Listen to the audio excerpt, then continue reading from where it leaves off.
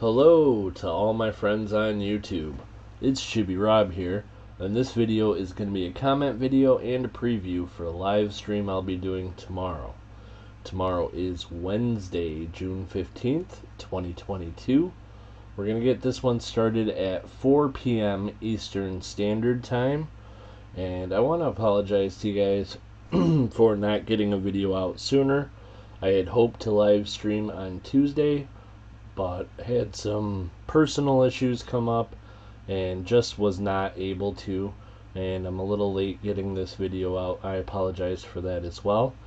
Uh, but we are going to have a live stream on Wednesday at 4 p.m. Eastern. I have 15 lots up for auction, and then we have a box of half dollars that we're going to hunt after that. Uh, really quickly, I'm going to show you what we have available for the auction. First up, we have this is a 1952 Netherlands Antilles, one Gulden. And then we have an 1899 Canada, the land of Canada, five cents from Canada. Next up, we have a really cool token. This is a Queen Victoria gaming token. Uh, this one, pretty cool. It has the Austrian arms on the reverse. Pretty cool. Uh, next up, we have uh, 2020 W quarter. Uh, this is a Weir Farms, Connecticut, the 2020 W America the Beautiful quarter. Uh, next up, we have a large cent. This is a coronet head, 1839 U.S. large cent. This is the silly head variety. Uh, next up, we have a U.S. two cent piece. Uh, this one's a little bit different date, 1868. Pretty cool. Next up, we got some from the 1870s, some seated Liberty coins. We have an 1873 seated Liberty half dime. We have an 1875 seated Liberty dime. And an 1876 seated Liberty quarter. Pretty cool. Uh, next up, we have a 1959 United States proof set. The Franklin in this one is pretty nice. Uh, next up, something different, guys. I have a pocket watch. Uh, the watch inside is the Yale Watch Company, and the case is a Dueber, I believe it is. Uh, Silverine it's from Canton, Ohio. Pretty cool pocket watch. Uh, next up, oops. There we go. Next up, this is really cool, guys. This is a 1928 peace dollar, silver dollar, and it has a Herbert Hoover stamp in there also. But the really cool thing about this one is I don't know if you'll be able to see it, but this is a 1928S. San Francisco mint mark on this one. Very, very cool coin.